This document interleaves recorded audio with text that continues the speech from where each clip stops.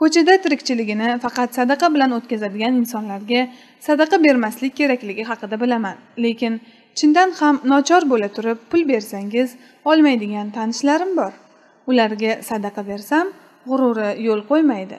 Men sadaqani kimga berishim kerak? Albatta sadaqa berish baxtidan mahrum emassiz.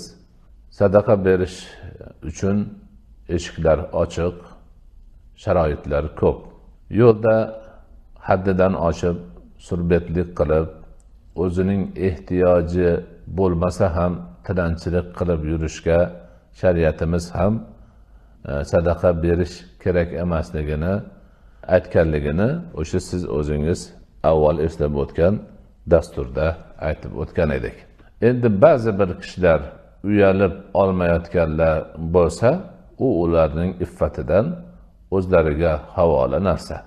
Lekin sadaqa beraman degan odamlarni imkonlari juda ham ko'p. O'sha muhtoj kishilardan uyalmasdan oladiganlari ham bor.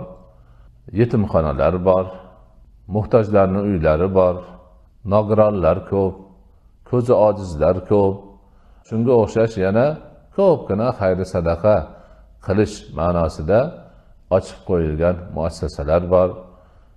Mana bu taraflarga murojaat qilish yoki mana shu xayri sadaqa ishlari bilan shug'ullanib haqdorlarni savobi ko'proq joylarni yaxshi biladigan kishilarimiz ham ko'p. Ulardan maslahatlashib sadaqa bersa nihoyatda yaxshi bo'ladi. Albatta har bir kishi o'zining sadaqasini o'z joyiga yetib borishi va undan to'la hosil bo'ladigan savobdan bahramand bo'lish umidi bor. Buning uchun so'rab surishtirib haqiqiy joyiga berish imkoni juda ham ko'p.